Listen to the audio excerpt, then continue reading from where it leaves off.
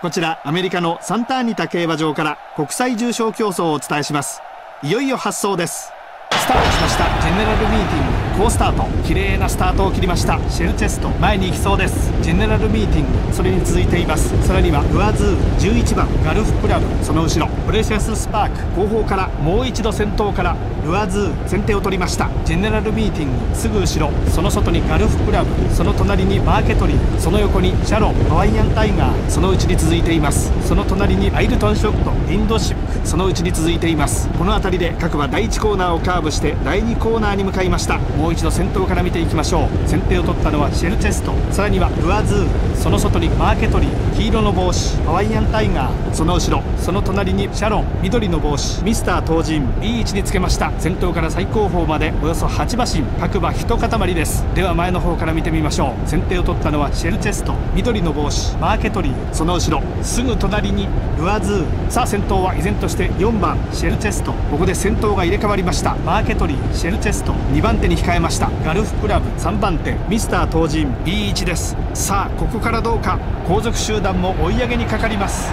最終コーナーをカーブして直線コースに入りました。マーケトリー先頭。残り 200m マーケトリー先頭だ。しかし後続の足色もなかなかいい。アイルトンショット追いすがります。マーケトリー先頭だ。マーケトリー1着。マーケトリー1着。2着にはどうやらシャロン。勝ったのはマーケトリー見事な勝利です。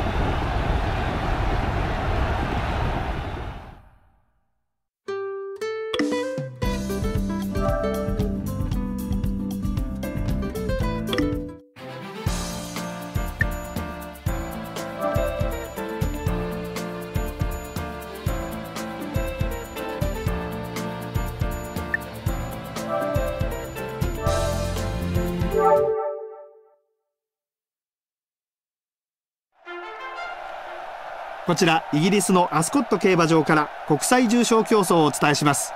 いよいよ発走です。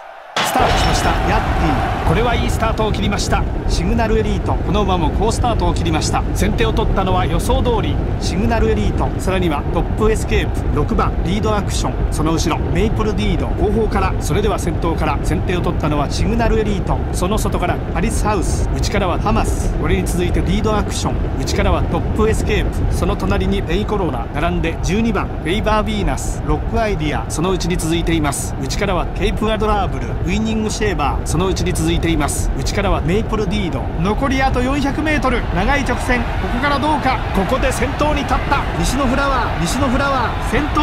あと 200m 西のフラワー。先頭だ。残り 100m 西のフラワー。差を広げる。2番手はシグナルエリート。西のフラワー。今ゴールイン。段違いの強さです。西のフラワー。1着。2着はメープルディード。世界の強豪を相手に見事な勝利を収めました。西のフラワー。まさしく日本が世界に誇れる馬です。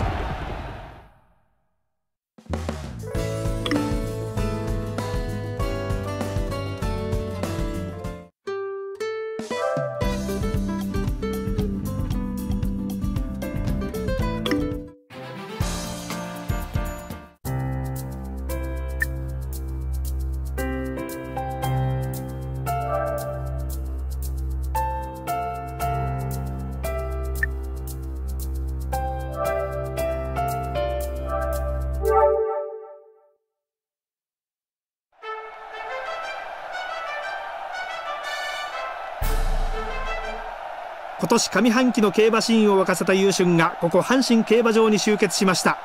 あなたのそして私の夢が走ります。さあいよいよグランプリ宝塚記念の発送です。さあ最後は大外枠のワイドバトルゲートに入って体勢が整いました。スタートしましたミスターシクレノン。これは好スタート。綺麗なスタートを切りました。ツインターボ前に行きそうです。ヤマニングローバルそれに続いています。さらにはミスターシクレノン11番マイネルキャップその後ろ。ワイドバトル後ろからになりそうです。では前の方から見てみましょう。先手を取ったのはツインターボ。大きく離れました。ミスターシクレノン。この辺りで各馬第1コーナーに入っていきました。1番人気の東海帝王。現在先団です。では前の方から見てみましょう。先手を取ったのはツインターボ。大きく離れました。ミスターシクレノン。その隣にヤマニングローバル。東海帝王。好位をキープ。